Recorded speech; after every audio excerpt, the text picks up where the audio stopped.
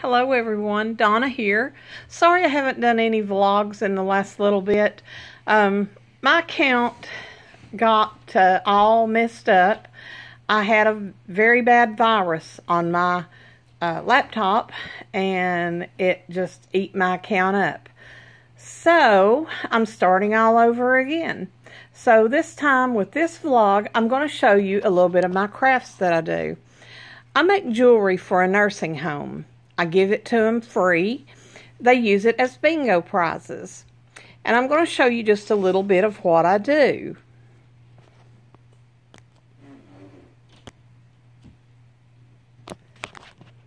This right here is some of the jewelry that I have made.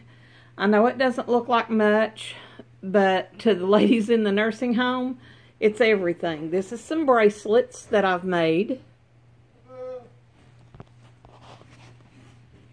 The ladies really love my jewelry. Um, I do this just for them. I don't really make jewelry to sell or anything. I just want to do some something that will make them happy. And they ask me every day when I come in if I've brought new jewelry in, and I hadn't.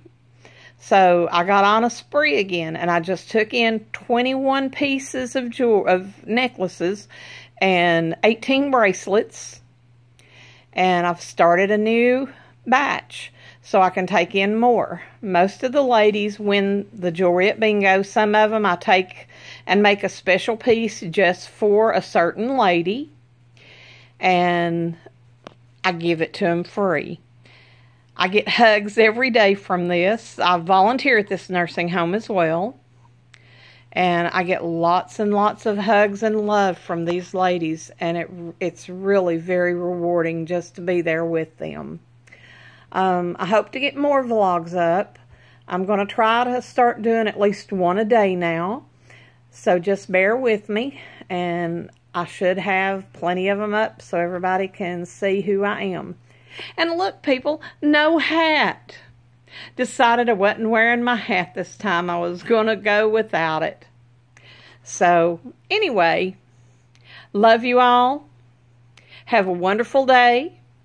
And I will talk to you on the next vlog.